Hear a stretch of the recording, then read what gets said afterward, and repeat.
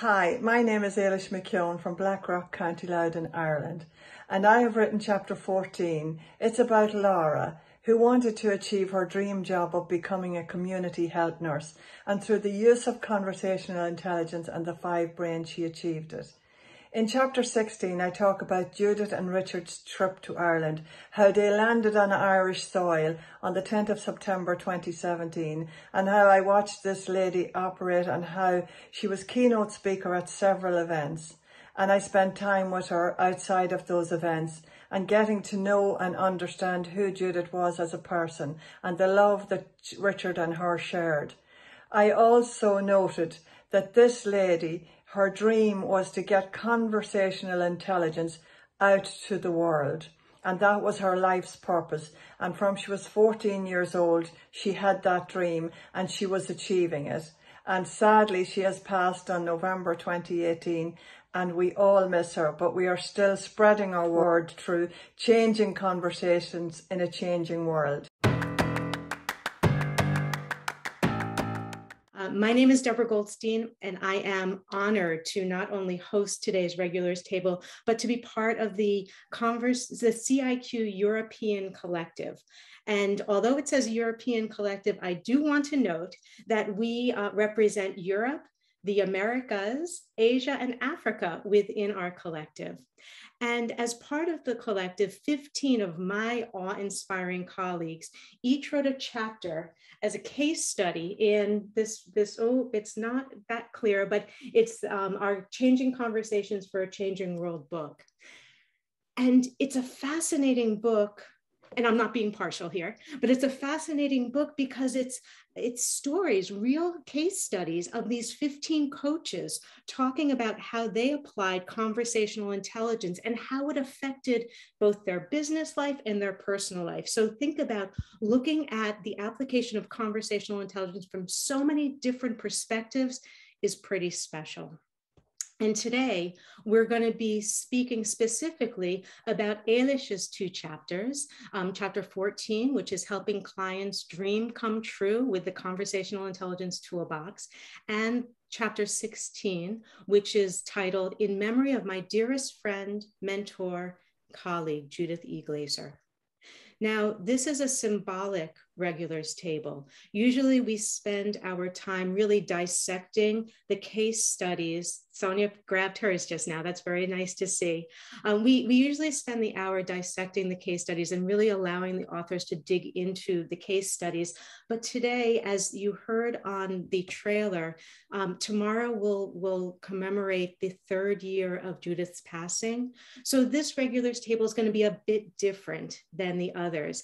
And we are so pleased and honored that Richard Glaser has joined us for today's session. So today what we're going to be doing is having some conversation with, um, with both Eilish and Richard that will cover both chapters, but really show a little bit of Judith as a person, Judith as a partner, and Judith, who is definitely the, the thread that has kept us all together all of these years later. So that is our program for today. And I'd like to start by sharing with, um, with you a question. Um, for those of you who um, are part of the conversational intelligence community, I'm kind of curious about what you thought Judith's superpower was. Anybody who met her, who read anything of hers, who heard her speak, must have been moved by this amazing woman. And I'm wondering if you'd be generous enough to share in the chat box what you thought Judith's superpower was. What really struck you as you got to um, know Judith?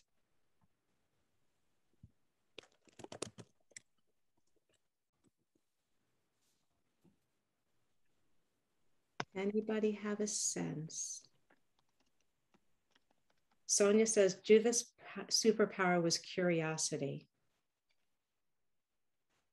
Yeah.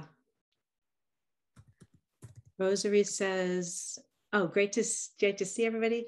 Um, Tanya says her attentiveness to every nuance. Linda says connection. Oh, yeah, Charlotte, she was absolutely present in every moment. I couldn't have said that better. Warmth. yeah. Yes. Yes. I feel the warmth right now in this Zoom room, thanks to the connection that we all feel for Judith.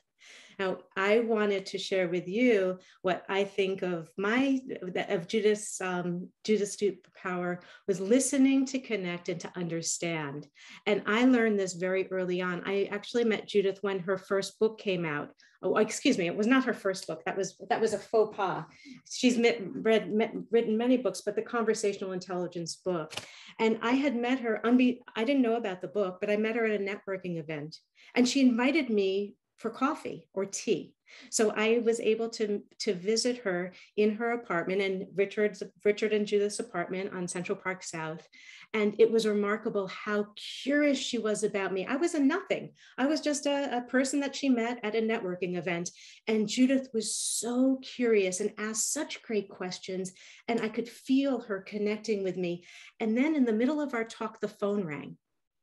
And I, I don't remember if it was specifically about the interviews she did with Fran Tarkenton, who um, is a football was a football quarterback and I love the the Vikings or it was somebody from a TV show and she was so incredibly gracious and apologetic with me to say please excuse me and I'll be right back. And I was so touched that this woman was interested and connected to somebody that she'd never even met. And once she finished that phone call, she was right back there with me. It was one of the most memorable interactions I've ever experienced. And I've got a lot of decades under my belt of connection and conversations. So, having shared that, um, I would love to um, hear from you about how Judith Judith listened to connect and listened to understand. Yeah, I suppose uh, those of us who studied with Judith, we understand the five conversational intelligence and the alchemy of conversation. But I thought her true gift was listening. You know, when you really listen, she reminds me of being almost like on her way to being a Dalai Lama. She was so good at that. She made you feel you were the only person in the world. But uh, one at an ICF Ireland event, we had um, senior manager there, David O'Grady, and David. Um, I noticed in the break at lunchtime that Judith and uh, David were deep in conversation. And then on the evaluation later on that, uh, in a week or two, David submitted an evaluation to say that he had a real problem with a leadership group he was meeting.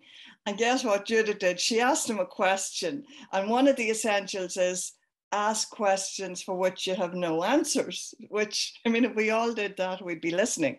So she, she, she, he said she helped him reframe, refocus, and redirect his issue.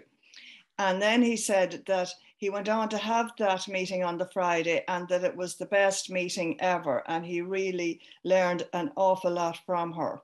So she took the time to do, I noticed her doing that during that day's event. And I know Rosari's on the call here and she set up a lot of our events with me. And um, we were witness to that quite a bit that week, you know. Mm. Yeah i can i can feel that and uh, from the the chapter in the book it really comes through and resonates. So i'm curious if richard would be richard would you be willing to share? Was judith always a great listener? Um, it's an interesting question. She never listened to me. Um, she, the answer is she was very curious about everybody and she really liked to find out about people. so I, I used to tease her. I said, you, you, you're unable to talk, to give a declarative sentence. Everything was a question. And, and then you had to break the code. So for example, one question would be, why are you turning here? Which means you idiot, you've made the wrong turn. Um, so once I understood the code, I was able to, I was able to navigate with Judy. But Judy was a she just liked people and she was interested in learning. Um, and I think Judy had a number of careers, and I think it all played together in, in, in creating conversational intelligence. Um, um, she majored in early child development um, when she was in college as an undergraduate. And I always told her that's why she got around along with CEOs so easily. Um, and then and then she went into she became very big into anthropology and been on an anthropological dig. And she really regarded herself as an anthropologist. And she loved she loved the way societies and groups performed and what was judy's sweet spot was working with large large companies or large corporations or groups she just felt that that was that was terrific and she considered herself a corporate anthropologist and so from anthropology and just a curiosity of how things work. She, at one time, she was a terrific um, artist and then just moved on from that. And then she decided she'd pick up classical guitar. Once she mastered that, she moved on from that. But the one thing that she really stayed with was, was conversations and conversation Mm. I don't mm. know if that answers your question. I, I loved all of that texture. My favorite part was um, about the never listening to you because I don't, although that is humorous, I know that that is absolutely not true. One of the things I appreciate is how the two of you were really so supportive and loving and together. It's, it's, it, for me, it was a, it's a lesson in my life about how to be a great partner. So thank you for sharing all of that, Richard. I'm also, I've always been amazed at how Judith's body of work was so immense. There's so much to conversational intelligence. And I, I was part of the, um, the class of 2017, and I'm still finding things and reviewing things. And Leslie Hamilton brought to our um, mastermind a couple of weeks ago a tool I had forgotten about Judith's body of work was immense. The practical tools went wide and deep. And Eilish, I'm curious, uh, because you were in the graduation class of 2016, the first graduation class, what was your favorite tool? Could I just say I'm very bold because I'm typing. Ute, uh, Erika and Pat are trying to get in and they're not getting in. I'm taking care of it right now as we speak. So sorry, I'm very on your, on your, on your time. I will take. So I'll tell you my piece anyway, because um, and Richard checked me out on this. The five brains we learned in 2016, and then that became the six brains because we added in the gut brain. But Judith had been working on that for quite some time. So I had uh, I had been doing career coaching, and a girl came to me. She was a theatre nurse in a private hospital in Dublin, traveling three hours a day, wanted to get on the national programme for public health nursing, which would allow her to work in the community. And she had done an interview the previous year. And she there was 300 candidates and she didn't succeed.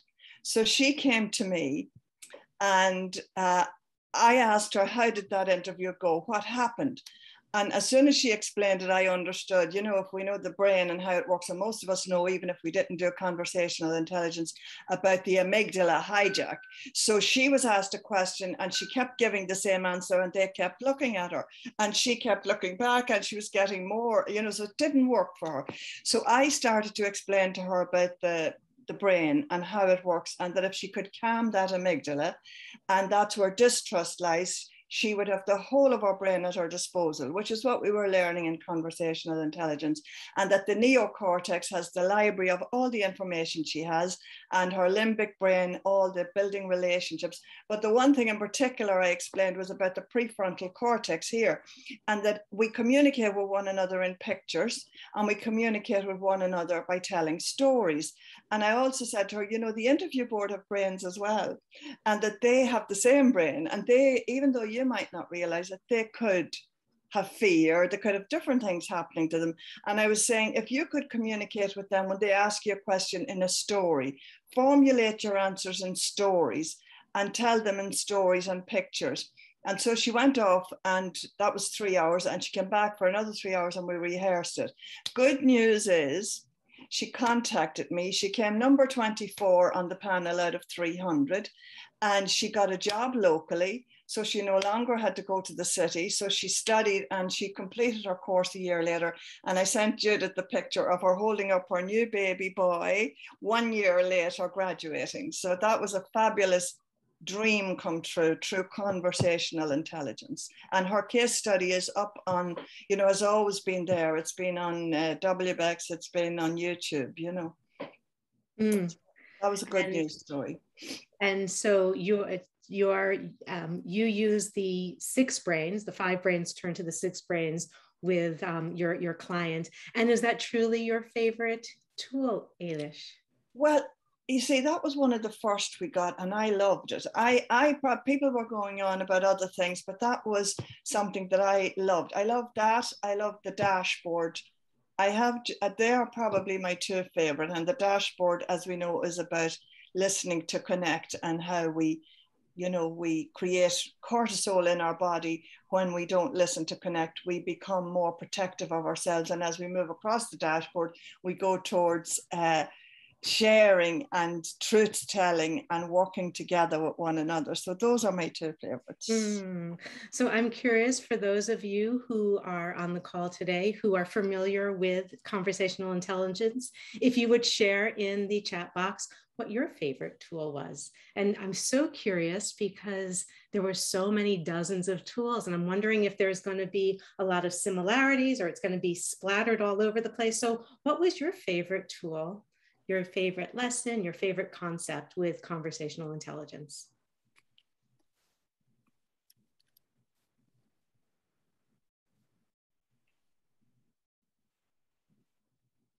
Erica says definitely the dashboard is at the top of the list. Yeah, Linda says trust and the dashboard. Karina says the ladder of conclusions and the three levels of conversations. Yeah, and Erica, doesn't Eilish look amazing? She she was at the beauty parlor this morning, just between us. well, just for the hair, not for the face. Conversation. my own work. The face is my own work. so I'm seeing a lot of um, a lot of similarities and. Tanya had mentioned my favorite, which is 1010 partnering. I find that that is such an easy and, and accessible tool for both work and life. I'm very, I'm a big fan of the 10-10 partnering for life. It very much reminds me of the um, the five the five the five love languages by Chapman. So, Richard, I'm curious. I don't want to put you on the spot because I'm sure that Judith's tools were somewhat like people's children. They love them all for different reasons. I'm curious if you would say a couple of words about what Judith's favorite tool may have been. Well, it's very interesting. Um, the evolution of how those came about. Um, they came about because Ben Croft wanted tools to give out in the programs. Judith never used tools. And so, and as I said, Judith was an artist. And so there was a, you know, she would just design what she did. And then we worked with a lovely woman by the name of Roxanne Pinero, who puts the panache on what Judy and she would come up with. And so Judy was very enamored by how nice everything looked as well. Um, but it's interesting how the, the tools have changed. Uh, the use of the tools have changed. Judith would use them as a leave behind, that she would work directly with a client or with a team or with a, a group and use them as a leave behind. And, um, but she never worked from them. She worked directly with a client. And I think things have evolved since then because I think a number of people use the tools up front and use it as a as a way of entering into a client relationship, which is interesting the way things evolve. I think the same thing is true of the uh, Catalyst tools, uh, which some of you may or may not use. Um, some people use them now as a diagnostic to work with a client. And, and Judith had created them as a way of creating more business with an existing client. And that's why she called them catalyst tools. So after six months or a year, she would use, use one of those tools and say, we can see we need another six months here. And so it was really based on the business aspect of it. Um, I don't know if Judith had one favorite. Um, she liked the ladder of conclusions. She liked the fact that she was very attuned to how people's beliefs uh, color how they how they interact. And she liked and she liked the, the ladder of conclusions. I will say that after so many years, I think that I think the dashboard is the one that has gotten the biggest play. And in fact, one of the coaches we knew made a rug out of it so that when working with teams, people could stand where they were. And, and the other thing was, it, it's international. We had done work down in Buenos Aires, and people picked that up right away. Um, it's um, and in, in, in, the work that we had done with some pharmaceutical companies in Europe and so forth, it, it's, it's those things they're very universal. And, but I would say probably the ladder of conclusions was, was one of Judith's favorites. Mm. And I think that the ladder of conclusions and the dashboard, such amazingly complex thoughts and pro- processes illustrated in such a simple way. I mean, uh, it's so easy, as you said, Richard, international, very easy to grasp onto, but you could go so deep with them. So I appreciate that those were her favorites. And I, I also appreciate that because of her curiosity and her ability to be present double clicking always comes off to me as one of her favorite tools. I don't know if there was ever a, a, sheet about double clicking, correct me if I'm wrong, but yeah. I feel like I feel like double clicking was definitely a, a tool that instantly became part of my repertoire. Instead of saying what, I would be able to come um, to, to get deeper and, and wider into a concept so easily because of that concept of double clicking. And I saw that Sonia um, picked up her mouse because, I mean, it's such an easy, it's such a graspable concept. So Eilish, I would love for you to share a little bit about double clicking and the fact that a few people in the chat box at the beginning mentioned that Judith was so present all the time. Yeah, and I, I think it was it Barb said that she likes the double clicking in Elzbieta. That was one of their favorite tools. And like it was really, you know, when we all started to learn computers, and this is how Judith explained it, and you had the little yellow box. And in order to get into the box, you had to double click on it. And that's really the comparison she made. You double click on it, and when you double click, you have all this information inside that, and you can even click on that again. So it's like about drilling down, and that's something I would have done in career coaching. Um, you know, you're, you're taught to, to funnel down. So what happened? We had the ICF conference, and there was about 100 attendees at it or more. Richard was there, and uh, Judith was in the audience uh, sharing her stories with people, and she was going over the five essentials. As I said, the, the, title of it was The Alchemy of Conversation, and the priming for trust, listening to connect, ask questions for which you have no answers, um, and the reframe, refocus, redirect, and then the double clicking. So she she asked any questions, and this lady in the audience stood up, and there were only about maybe three or four feet apart if they were and she asked Judith a question, and Judith was answering, and then Judith stopped and she said, uh, What happened just then? And the woman was looking at her and said, No, no, I saw something just happen. It was in your eyes, something like, and she could see that something happened in the brain, and she was watching it. And the lady, um, just stopped, paused, and went over what it was. And I can't remember what that was, but I do remember vividly that happening. And she shared it, and you know, it was it was a major learning for her, I think, and that she was explaining the double clicking. So, um, yeah, that was just fabulous. I don't know, Richard. You probably don't remember that, but anyway. Yeah, I think it, I think it had I think it had something to do with it, with the daughter uh, it, was a it was a family issue. I'm almost certain. Yeah. And, um, and that was not the first time.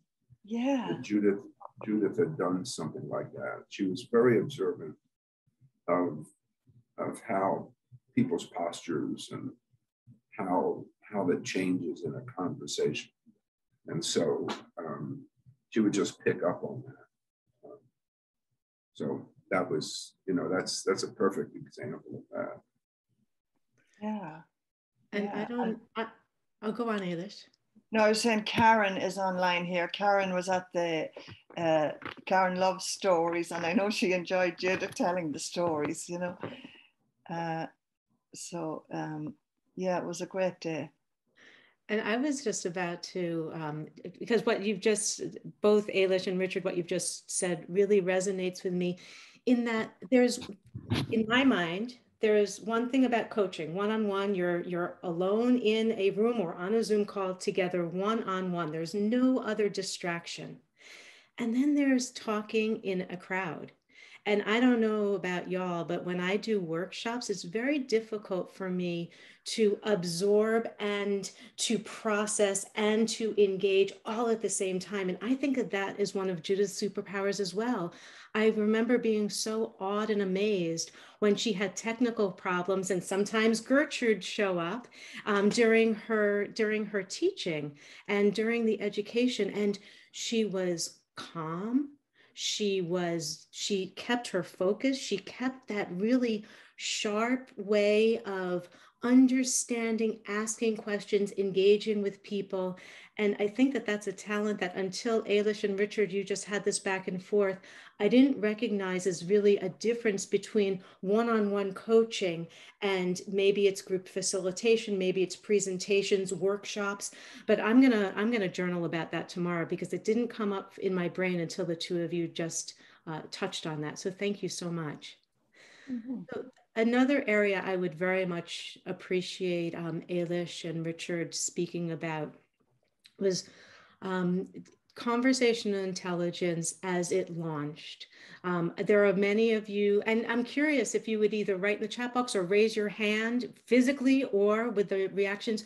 Who was in that first cohort? Who was in Eilish's cohort, which was in 2016, the cohort that launched on January 18th, 2017? I'm seeing Uta's hand, Charlotte's hand. I'm seeing Sonia and Barb. Oh, uh, Karina's got the um, Linda. Okay. So a good many of you, of us, were there with that first cohort.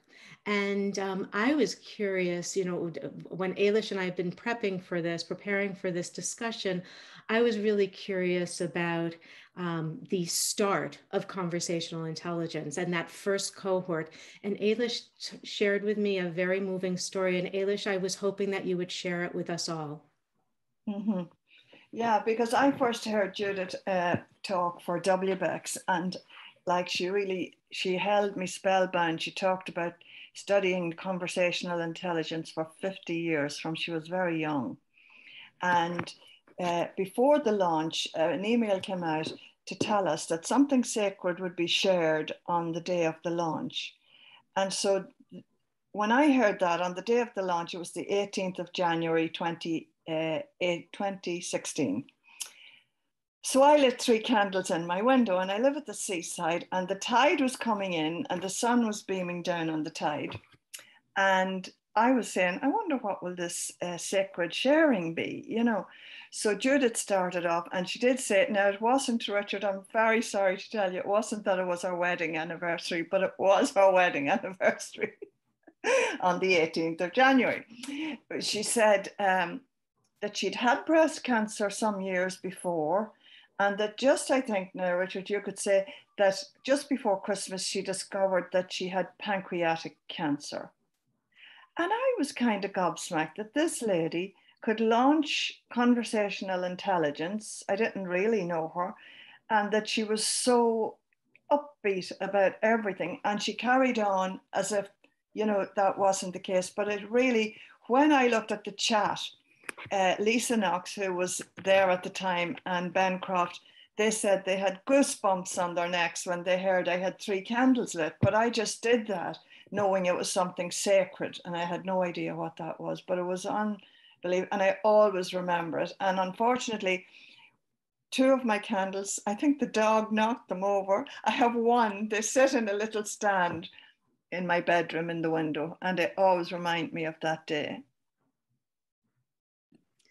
And I was touched and moved by knowing that during that first cohort, the cohort itself was so supportive mm-hmm. and holding space for Judith this whole time as she was going through her her treatments. And I'm just amazed that the whole time that she was bringing CIQ, conversational intelligence to the world, she was also managing her health and going through tedious processes, just tedious physically, emotionally, mentally, and spiritually in order to stay healthy. And Richard, I'm wondering how she did it. How was she able to bring CIQ to the world while she was doing her best to stay healthy? Um, I'll tell you a story. We used to go to Weill Cornell for chemotherapy, and Judith had a port installed because the infusion, we'd go to the infusion room and we'd, we'd be there for four hours every two weeks. We were the only people that would bring computers with us and sit and work for four hours during infusion. And the people used to make fun of us. They just couldn't believe it. Judy was either on the computer or on the phone, and they had to say, You have to be quiet, you have to be quiet. And just, she just did not acknowledge it. She just never spoke about it. She just kept on going. And I don't know if you if you know or not, I didn't one day I, I'm, we were somewhere. We had gone to, I guess, a, a bar mitzvah, and I didn't like the way Judy looked. They call it medical terms. It's an affect. I didn't like her affect. It changed, and I called the oncologist, and he said, "Come over immediately." And that, and that afternoon we had an MRI, and um, we met with the surgeon, and Judy had a brain tumor the brain tumor was a little bit bigger than a walnut. And she was operated on the next morning. And that was in the midst of a flu epidemic. And so we were like in the emergency room forever. We never could get a bed assigned to us. The next morning, Judy was operated on for a brain tumor. And she wakes up that afternoon and she's okay. The next day, the next day, she said, Bring my computer in. And so she just worked. And then another day afterwards, we walked out of the hospital. And the only thing that bothered her was that through the chemo, she had lost her hair. And, um, and so we had an array of wigs. We have a number of wigs. But she just, Judy just kept on going. She didn't, she didn't pay attention to it. It was just something else that she had to do, you know, had to deal with. And that was it. So I don't know if that answers your question, but she just ignored it. It sounds like it was her mission to um, bring conversational intelligence to the world. And she loved to talk about conversational intelligence and creating we. Um, there were a number, a couple of Judy's. It's very interesting. Judy wrote a number of books. Um, you know, creating we, the DNA of leadership, but she put together a, a book on Gregory Goose and leadership that became a video um, for school children. And, you know, just because she was interested in that, her interests just were all over. And so she pursued everything she was interested in, and nothing was going to tie her down. And so, um, yeah, it's a shame. And in fact, when we went to the emergency room the last time, the day before Judy died, she was walking in the halls with her with Rebecca, our daughter. And we all assumed we would we'd go home the next day. And unfortunately we didn't. But it was just, you know, she was up and moving. Mm-hmm. And you mentioned um, she had so many interests but it wasn't like oh one day i'll do this i'd like to do this one day the interest that she had she grabbed onto and she cherished and she she they she lived them, she embodied them. I've always admired that. It's such an inspiration. So I'm I'd love to spend a little bit of time um, with Eilish and Richard, you sharing your uh, your experiences the trip of Ireland. And I, I chuckled when Eilish and I were speaking to prepare for the session that Eilish was talking about all the work that Judith did during the week, and Richard thought it was a vacation. So Eilish, I'm curious if you would start by sharing what was a highlight in your trip, uh, uh in the trip for you. Yeah, and I think Richard, it was a vacation because I took part in the vacation, but Judith also worked nonstop as well. And I know you know that. And I know you were very diligent in taking care of her with, because you remember Judith had a bag of pills and you were monitoring her because um, Richard, I'm not sure the title is biochemist, but you have, I know she always said Richard has two PhDs. So, Richard, you were taking care of the medicine and all of that as well as everything else. And um, so, yeah, what fascinated me was you landed in Dublin on the 10th of September on a Sunday.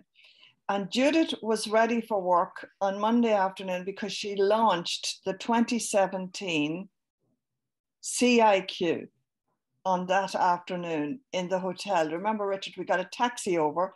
She was going to dinner to speak as a keynote that night with the Irish Institute of Training and Development she went into her room. She chased me and Richard out because we might interrupt her in her class. And so she carried on and did the class online.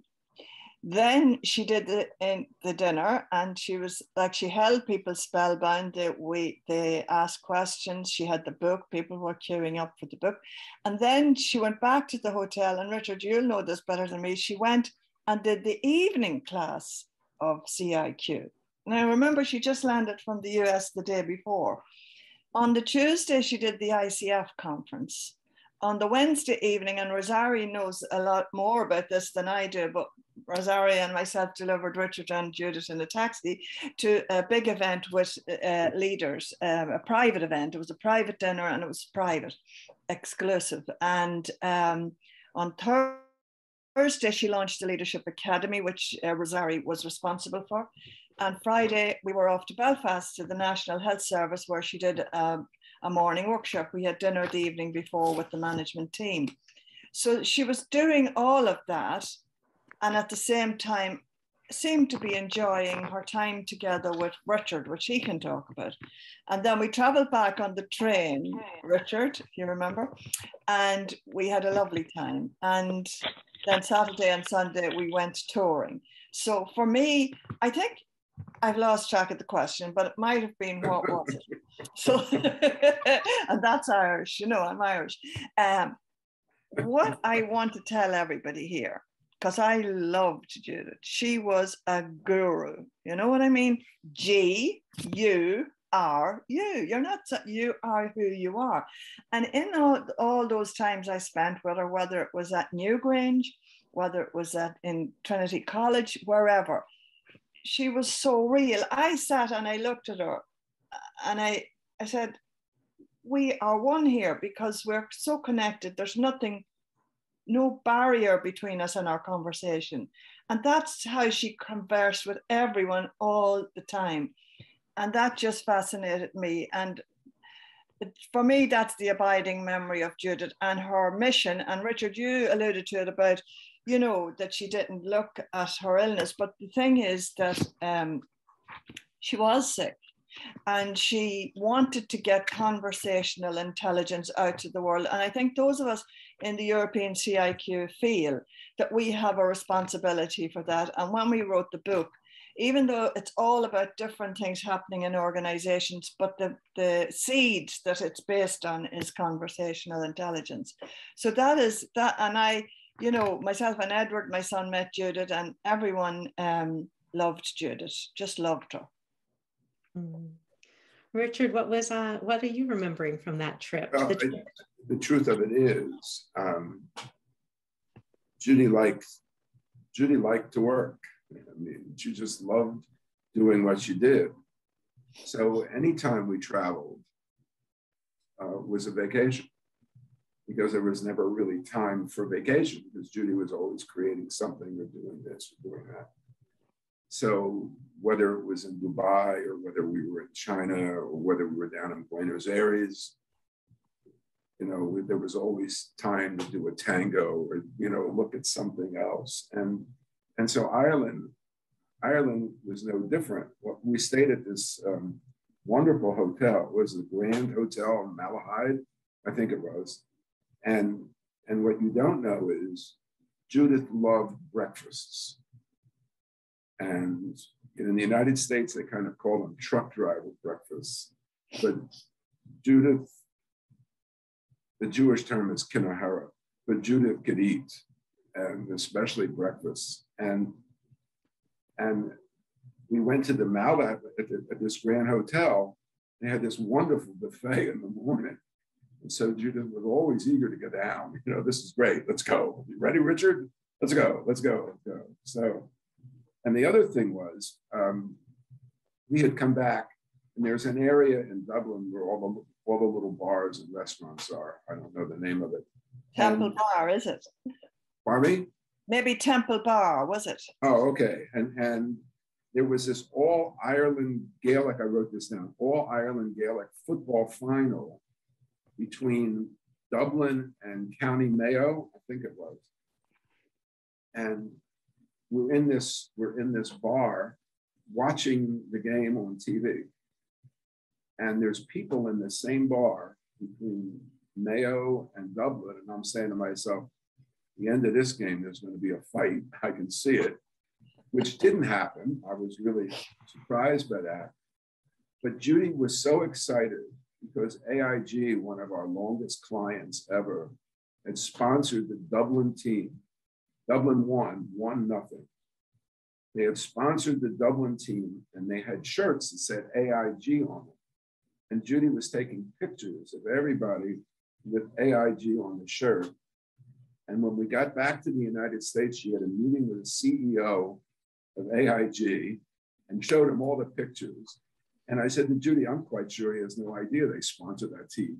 She said he knows now, but that was so exciting for Judy. Um, the other thing was when we met the Newgrange um, with Edward, um, Eilish's son, and Eilish, um, Judy had been on an archaeological dig in, um, in Czechoslovakia. As I said, she, she thought she was an anthropologist. And um, we went to Newgrange, which is a which is very impressive. Um, it's a huge prayer burial mound. I mean, we go through this little tunnel, and we're in. There's groups of people waiting to get in, and each one has a guide. And we're in the midst of this of this um, this huge tomb, and it's covered in grass. I mean, it's immense. And we're in the midst of this this thing underneath everything. And, and Judith starts to talk to the, the guide, and they start to talk about her her dig and this dig, this Neolithic dig, and they talk, and, and they just all of a sudden the tour stops and they're talking and talking and talking and talking. And one of the guides runs up and says, There's a big backup here. You got to move your group, you know? And, and it was just, um, so Judith had these, Judy had these great interests. Um, and I think all of that fed in the conversational intelligence. And, you know, all of those, it's like everything you do, your life, your life experiences bring you into coaching or consulting. Your life experiences help you move forward.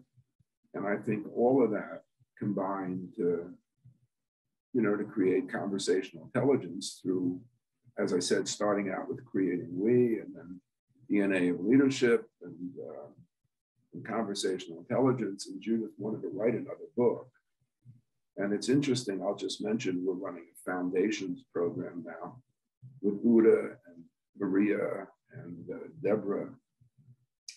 And conversational intelligence because of you, but really because of Ute and Deborah and Maria, at least in my contact, really changes because you all bring your own thoughts, your own actions, your own experiences to make it grow and grow and grow. And I think that's what separates conversational intelligence from training programs. Training programs are training programs. And in fact, as I said, I don't know if I said it, I'll repeat it, but the reason why we had all these tools was Croft thought we had a training program. And training programs need tools, right? And, and really, you've all embodied conversational intelligence. It becomes a way of your life, it's the way you move forward. And so it's not a training program, it's alive. It's something that lives within you all and you change it all. You know, you take it create it and move it, and then you share what you all learn, which helps everybody else make it grow and grow and grow. And I'm only sorry that Judy's not here to see how it's grown and the importance of conversation. Hmm. Yeah, I, I, yes, yes, yes.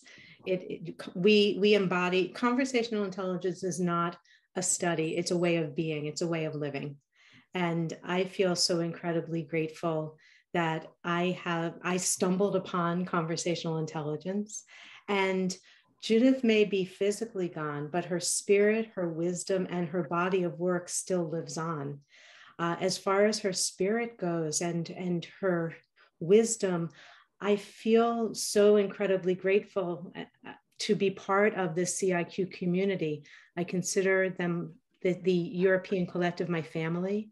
And the, we are, we are truly together because of the golden thread, the connection that Judith was. I, I am so pleased that I'm seeing people on the screen today that I know through the, Euro, the European Collective and people that I've never seen before. I think that there are about 700 of us um, that are worldwide um, certified in CIQ. And I, oh, thank you, Richard, 800. And um, her and Judith's legacy will live on as we continue to embody conversational intelligence. So I'm curious now, we do have a couple of minutes. I would be very curious for people to write in the chat box what, what tools are still close to you? What tools do you still love to use with your clients, with your family, with yourself? And we also do have um, some time if some for some voices, if people would like to share some of the reflections that you that you hold dear for, about Judith and about CIQ. And you could either raise your hand or write in the chat box, what, whatever works for y'all. And uh, while that's happening, Deborah, if I could say, Ute posted there that we have some people from the new course online, which I'd be fascinated. They hadn't met Judith, but I'd be fascinated to understand if they were willing what the, it's like using her work, you know, and she's not present to them, you know. Mm. I may add something. I'm I'm one of those who who was were part of the first uh, foundations course. Yes, I'm I'm deeply impressed by the conversations you are having um, during this uh, session here and sharing all your experiences. And um, yeah, I have to admit, um, taking part in this foundations course um, really changed my life. So I'm um, becoming aware of things I may have used beforehand and um, realizing on a daily basis that I make use of them and I started implementing them in my personal and professional life. So I'm happy that I started the journey and thank you for sharing everything. So nice to meet you, Katrin. Thank you for sharing with us. Who else would like to say a few words um, about how CIQ or Judith touched them?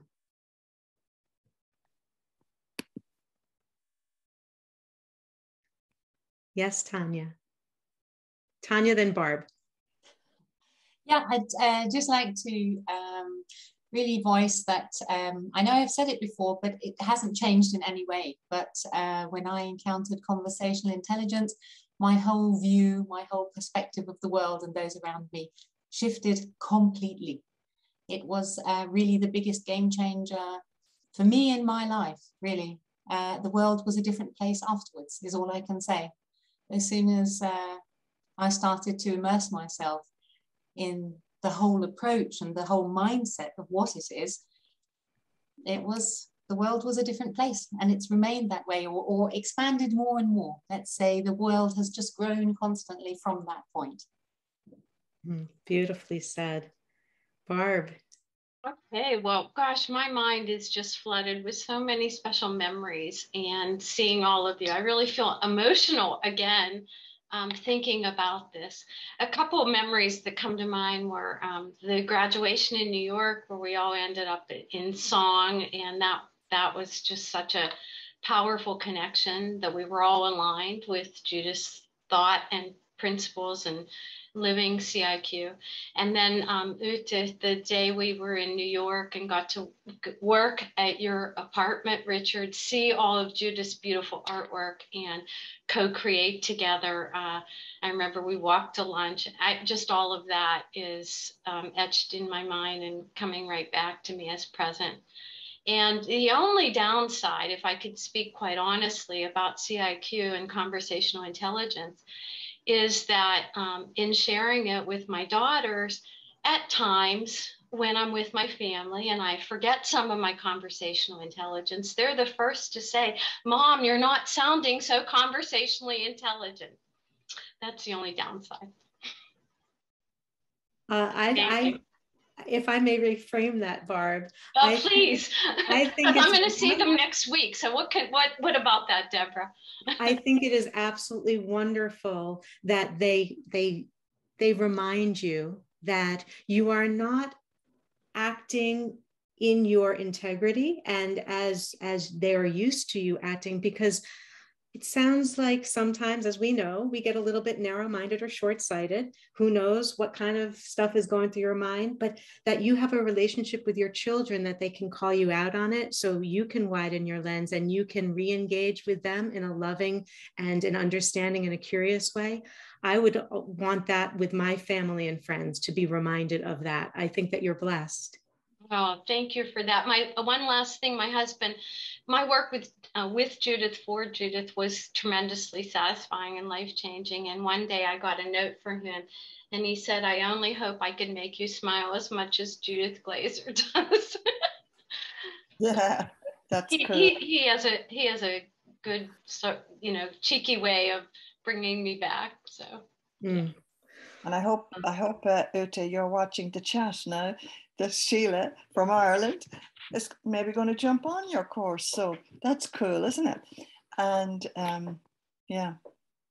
And Richard, I just want to say, you know, we're all talking about Judith, but you were such a support to Judith. I mean, I witnessed it for eight days in Ireland. It was unbelievable. And you did it so quietly and in the background. But uh, for me, you're also a star of the show, a big star. Well, not not quite. Thank you. I'll go on now.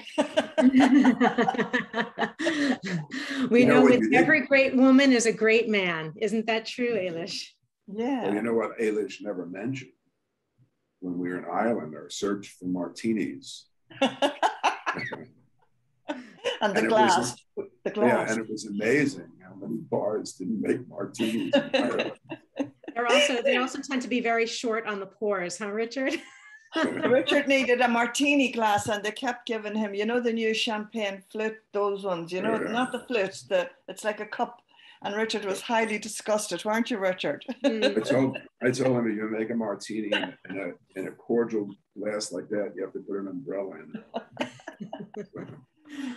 well, as we get to the top of our hour, since Richard just said umbrella, I would like to reflect that Katerina had said when she um, asked about tools that you still use, Katerina had said uh, um, standing under someone's reality, understanding.